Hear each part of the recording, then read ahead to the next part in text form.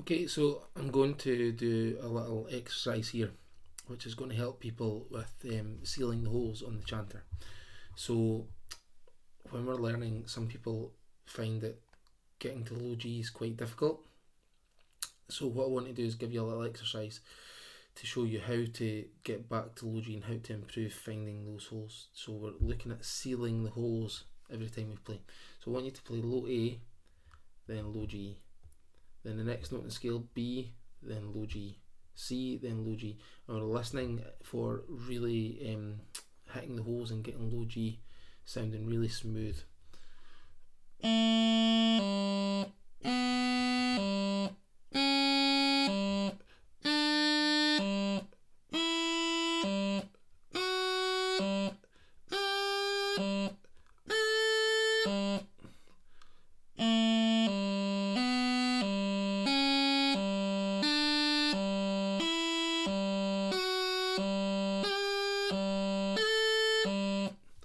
trying to improve our aim, looking for going from a note like high A, we're trying to get all of our fingers to go to low G together to hit the holes, not to have any smudgy sounds, okay? Nothing that's uh, causing a disturbance in the sound. So it should sound smooth and solid, okay?